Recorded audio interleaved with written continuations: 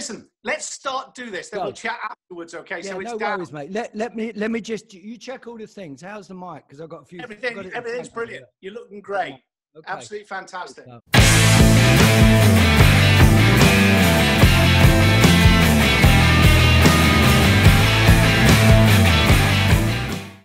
It's the one and only Steve Norman is with us on Switchbox TV. He's look. Hey, you're looking fantastic. Lockdown agrees with you. I think. Uh, well, I was very lucky, Rob, to uh, get locked down in Brighton, which is where I sort of try to live most of the time. And uh, yeah, here it is. Weather's been amazing.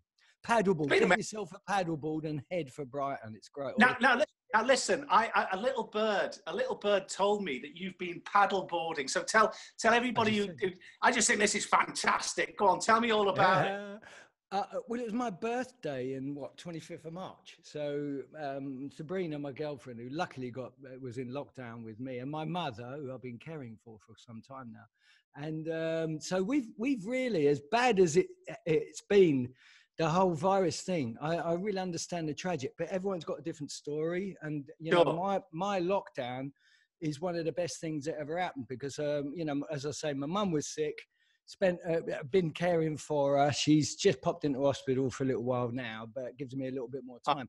But it just gives you all that sort of time, you know, that Yeah. special time with my mum. She's getting on, you know, and and, and Sabrina got locked down with me. She's normally in Berlin, or I'm and I'm there with her some, you know, most of the time as well. So we've we've had a great time, you know, I have to say. And the last few days had that had that paddleboard since March, and uh, me and my son, my son came round and he looked he had a look and he said, Dad, what do you reckon? Now, you know, we've got a couple of days. And off we went. Oh, it's great. It's opened it all up. You know, it's like that the sea is literally across the, the road, you know, and I never I hardly ever go there because I never got time. So it's great. Paddleboarding. Get a nice How colour far- as well. How far do you go out on paddle boarding? We went quite away. I mean, it, you know, I mean, it's only a couple of days that we've been doing it. Really, I mean, it's, uh, Sabrina hasn't done it yet. She's been working from home, but you know, Jack got up on it straight away. I'm, I'm one of those. You go to those white knuckle theme parks. I'm, I'm, not scared of much, but don't like the sort of white knuckle stuff. I prefer that little Yeah. monorail that goes at the top very Yeah. slowly. You know what I mean? Around the whole park. I'll sit there with a, a beer and I love it. I'll just go around again and again and again so so I like the chilled of it, and it's it's weird because I've been surfing. I like to surf occasionally, and you sort of look at the surf and you go, right, surfs up, and you get excited.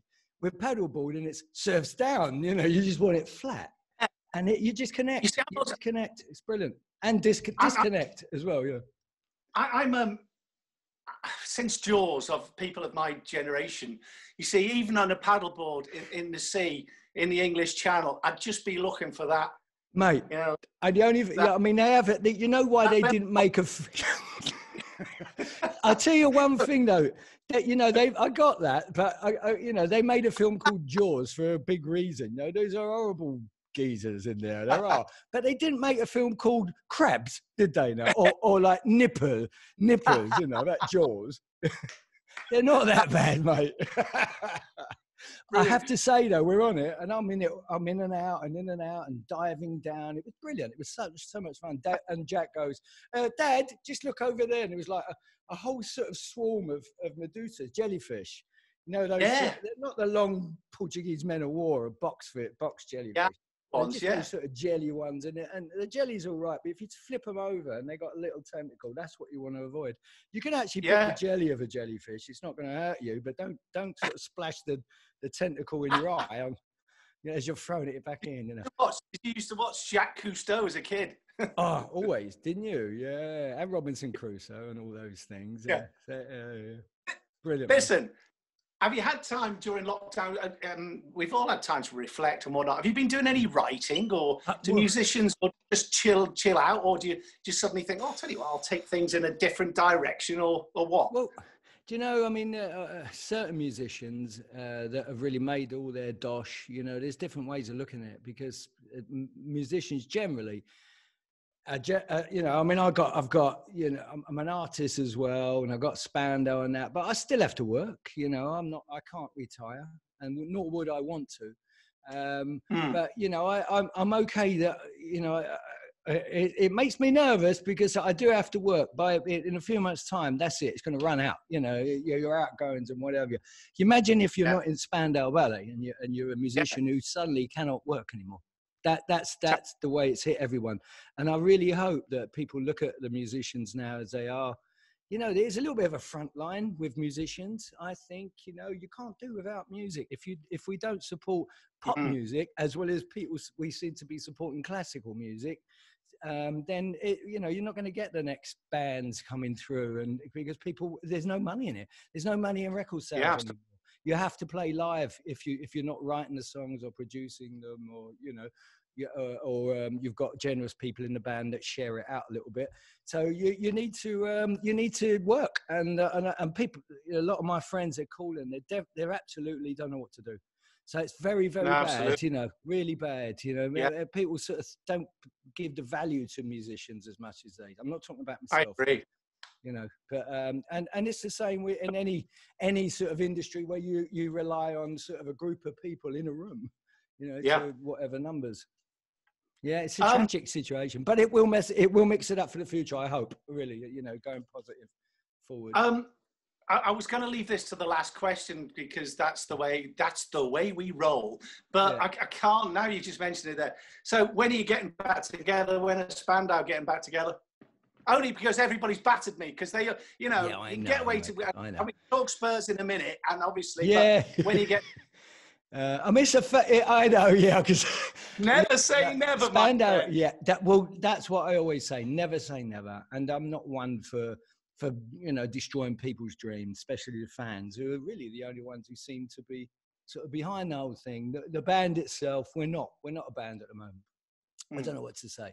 You know, it's, we don't talk. I haven't spoken to the guys in uh, well over a year. You know, I speak seriously. To, I speak to Tony, and we fell out. You know, so it's a bit. It, it, it doesn't matter. I, I, we fall out us a lot, and then you know, I, uh, people say it's, uh, if you'd have asked me this a year and a, and uh, and a little bit ago, I'd have gone naked themselves, you know.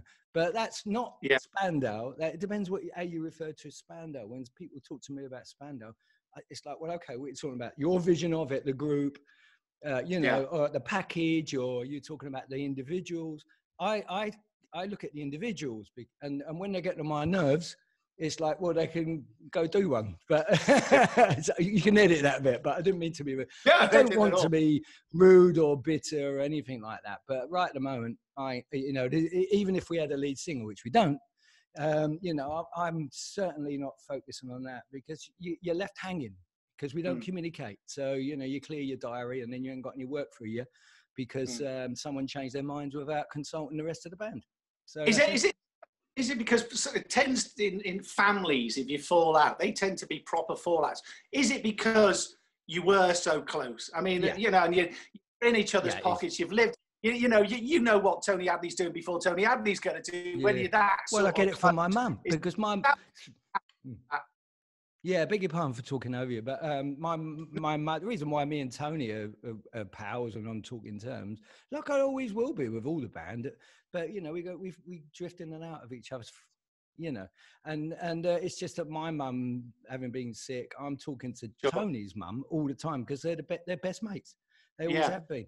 So it just it was like it doesn't make any sense. Why you know we're um, we're talking around all these things, and I'm like, oh, mm. oh Tony, how are you? You know just get over it. It's the same for every member of the band. For me, you know, when I look at them, I give them a little bit of distance because I, I, really don't want to see them for a little while, if I'm honest. And then, and then after a while, you can't stop thinking about them because it, they, they, are like family. And you don't, I don't want to lose all my memories um, like it happened before 20, 30 years ago. You know, we split up big time, went to court, beat each other up. And then, and then all of a sudden we got back together and it was like, it was the most wonderful feeling for me because because I could then get my memories back. I could think about all those times we had together, growing up, going to school together, you know, becoming um, men from boys, and and uh, I don't. I want to be able to look at that with fondness, not bitterness. So, but at the moment, not yet. So, so if they want to get together, they ain't got a sax player, or at least they ain't got the original members. but I'm not making a big thing of it. Don't worry. They're, they're, all the fans, don't worry. I'm so, I'm sure at some point in the future, you know, if we're all still alive, got to think about that. But there you go. I, I watched Soul Boys of the Western World, bizarrely.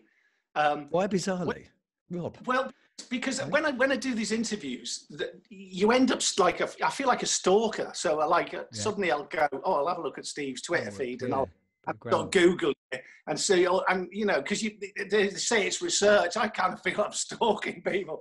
So I was, I just wonder how it, I was fascinated by it. I mean, it was just brilliant. How do you, when you watched it, did you go, geez, I was good looking? Not that you're not now, but you know what I mean? Oh, wow, wasn't that brilliant? Wasn't that? And also, the second question is, how the hell have you survived? Is my other question. um, I, it's a really have I survived? I don't know. I mean, I still sort of still drink and all that. I've not had to give anything up except a bit of cheese, which really got on my nerves. You know, I just get low fat cheese now. But I don't know. I just think uh, you know, whenever anyone says to me, "Oh, I don't drink," I always go, "Oh, what? You overdid it then, back in the eighties, or what?" Maybe I've just kept this side of it. Music keeps you young. I've been like I lived in Spain in Ibiza for t- over twelve years. I live now by the sea. I got a, you know, I got an incredible girlfriend and uh, Sabrina, who's also my manager, and you know, she's really helped me out in a lot of things. I don't know. I, I feel good in myself. I've got. I really Mm. I love my family. I love my friends. They are family, and you know, and, and the fans and everything. You know, I do gigs with my band, uh, the Sleeves, and you know, we're going out next year, and they and the fans just follow us around as soon as we put the dates. on. You know, they come from Australia, from from New Zealand, every gig, or a little bunch together. They'll be over from from like literally the other side of the world, and that and that I guess appreciation. It just just makes you feel good. Makes it, it does put a spring in my step. I will say, and uh, you know, you asked me before about the lockdown. You know what I've been doing. Music. I've been picking the guitar up because I haven't had a chance to be here. This is my place here in Brighton. It's only a flat. It's not a big, massive house or anything. Yeah. I've got a little studio, a little behind me there. It's a corner of a Brilliant. quite large sitting room. I've got the dining table, stroke office. This is what people do all the time. You know what I mean? You have to multi sort of use things for different things. So it's great. Garden, sea, tra- train station. What else do you need? You know, I'm like half an hour from Gatwick on a plane, Berlin. Got me chick there. You know, that's it. I'm, I'm, I'm sorted, mate. And that keeps you good. Uh, people suffer and, and have suffered and will suffer a lot more than I do, let's say. I've got, I've got it easy compared to some people. In fairness, though, you have suffered because you're a Spurs fan, haven't you? I mean, come on. Thanks. mate. What are you again? Come on. City, isn't It oh, be easy. It can't Is it? be easy. Come on. Oh, it's terrible, isn't it? I mean, I, I did. I liked Poch. I thought, no, Mourinho, give him a all loved chance. it. Even, even Yeah. non-Spurs fans loved it. I don't get that really. I, I'm I'm saddened by that. In fact, I think last last time we chatted, wasn't it like we Spurs had done well, got into the Champions League, I think, at that point. Yeah, probably. And uh, yeah, and, and it was, you were asking me about Poch then, and, uh, and I've, I think I said something about his ma- man management, like like Mourinho. You know, you got to get the best out of people. If you lose a dressing room or you you have you haven't got respect, then that's half the battle, isn't it? You know, I'm sure most managers know it. It's all sort of try it and see as far as tactics are concerned. You know, um, they all know enough, but once you lose that dressing room, you ain't got the respect of the players. You've lost it. Um, and I and I think Poch was doing really well. He just had a little dip. Why would you sack someone? That's happening too much in football, isn't it? There's no loyalty at all. It's a bit like bands, really. There's no loyalty in bands anymore, is there? Well, um, how, how- far do you go back?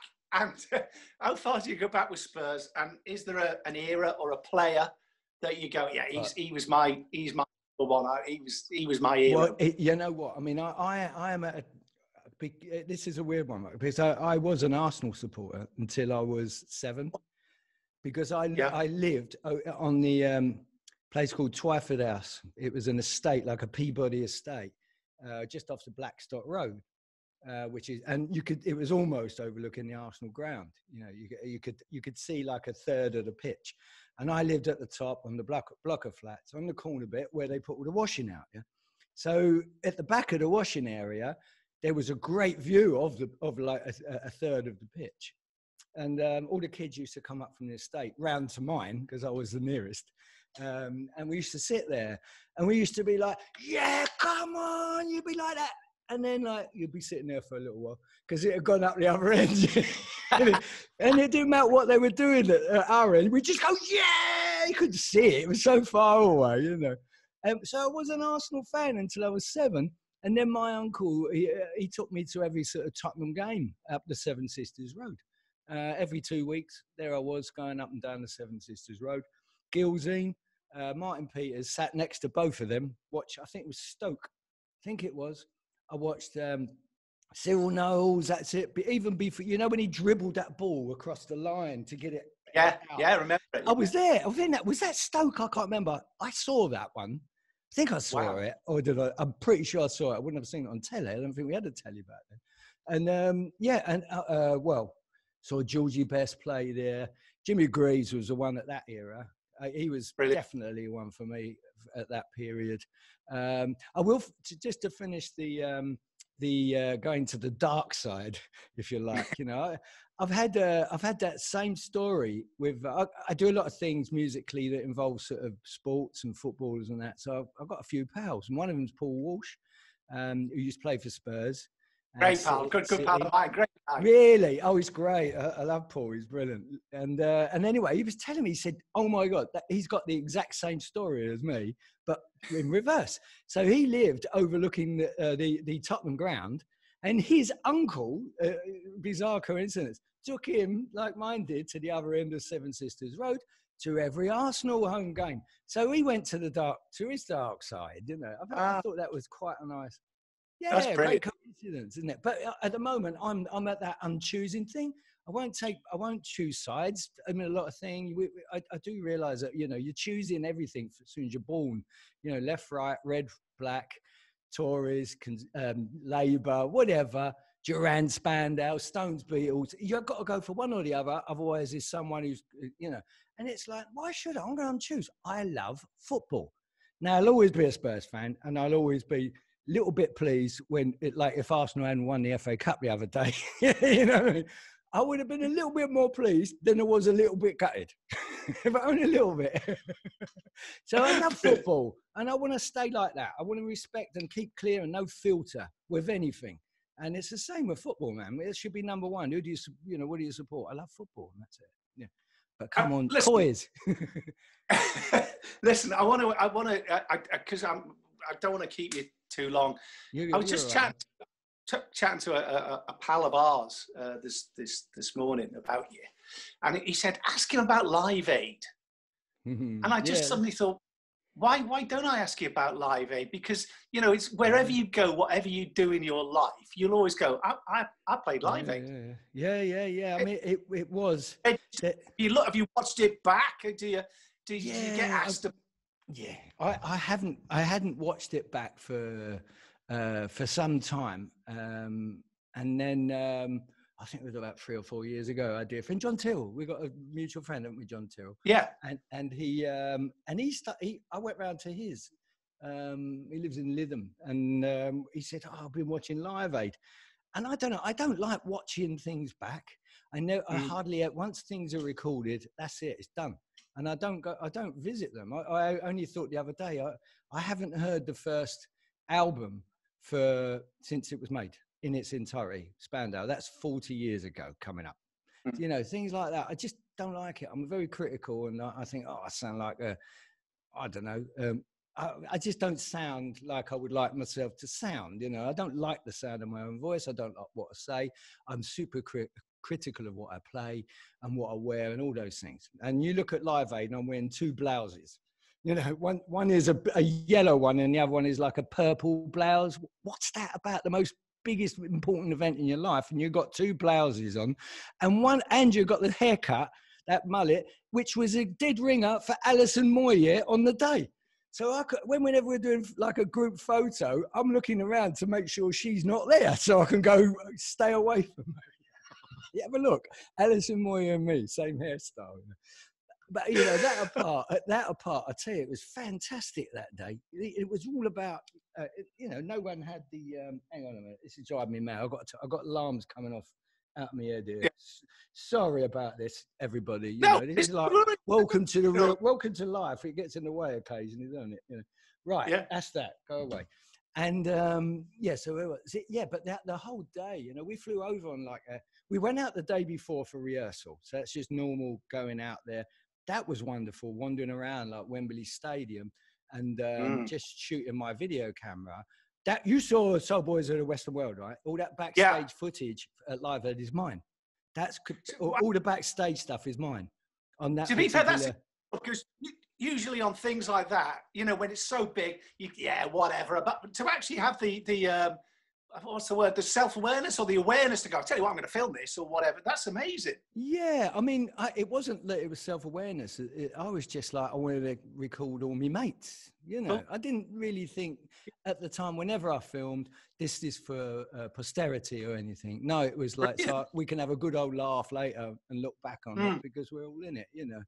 Uh, that was more, but looking, I, I actually, just before that, I'd found all these tapes doing a bit of research and I was stalking things and as you do, you know, and, um, and, uh, and I found all uh, like two, or th- two tapes with Live Aid on it and a lot of other stuff as well, which I still haven't seen. Um, and so I sort of put that towards it. I found one after it was made. There's another Live Aid tape, and I went, Wow. "Oh my goodness, who knows what's on that?" Hardly anyone did backstage stuff. You know, all the, all the sort of stuff with Quo by the side of the stage. That you know, doing the in the sound check, with big Quo fan. Spend my money, and we're on side. We got we got like there's us, there's Geldof, and I'm moving the camera around, and there's Geldof, and we're all going, mm, mm, mm, uh, you know, it was the first band to open up Live Aid, wasn't it? And they were rehearsing. I knew them as well. So everyone's going, hey, to the camera like you do, you know, in interviews, you know, Queen walking around, yeah, because it's me. If that had been at like BBC, they would have been a bit more sort of serious about it, I think. So that's what I love about that because you know each other. People tend, you, you get a relaxed sort of sort of uh, response from them, you know. Um, oh, it was just a, an incredible event, really. I remember, I do remember, I don't remember much on stage, but I, I do remember jumping off for the true solo and uh, jumping back on, thinking these tight. I had white trousers and they were quite tight, and I thought if they give now. I'm, I'm leaving the band. That's it. You know, as you're jumping up the riser, you know, probably wouldn't have been a bad shout looking back on it. But, um, Hey, listen, listen, listen. On that note, hey, do you know what? Great talking to you as always. You too, mate. You too. And also, um, you can do for me because we we uh, it's not usually me. It's um it's a pal of mine who does does all our music stuff. So when you've got some music you want to show us, well, you- please- please come on. man. That, And we'll do- really. love to do that with you. Thank and, you, Um. Yeah. I mean, um, I've got Well, his uh, anything anything new, anything you want to tell I- us I'm- about. I'm sure, give us a shout on yeah. WhatsApp. Come on and do it for us. Show us it. yeah, will we- do. I mean, I've got to get my head around the sort of next plans. Really, it's been it's all it's been all about my mum, if I'm honest. So Sure. so you know, it's uh, and there hasn't been much time to do things, Yeah. and I've been but I have been grabbing my guitar. Um, Yeah. which I rarely have a chance to do because I'm so busy doing everything or traveling or this. So new things are very far and few between. I've got so many sort of, you know, dictaphone ideas because of the guitar. It's all here. Studio's up and running again, and you know, I, I'm, I'm sort of it's. I'm in a place now where I want to be as far as mm, like being able to work with music again. Got new tunes. Going out on tour with my band next year. You know, I also work with 80s Pioneers. We did that a year ago coming up. You know, I don't know if you know about 80s Pioneers. That was put on hold. You know, it's uh well, check it out. It's I mean, last year we put together myself and Sabrina. Uh, it's our idea, and we put together the show. We put the show together. That's it. With, Yeah, with like I saw you with 80s pioneers. Is it Marc Almond, Yeah. you know, Paul Young, Sorry, Carol, all that. you're yeah, playing exactly, with. yeah. Nick Van Listen. who was uh, yeah, Limahl. When um, um, we'll keep in touch. Anything Yeah. new, we, we want to hear it here. Great, man. Thank you. And it'd be, you know, it'd be a great way to to disseminate it all. Um, you know what's going on now. And uh, thank you for your help and your support. Really, you've always been there. Thank you, Rob. And thank you to everyone Thank- thank- for checking in. He's Take- all right. He's take all care, right. Don't listen to what they say about this man because he's all right. Buddy, you, I'll see you later. See you soon. Cheers. Cheers, pal. Bye. All the best.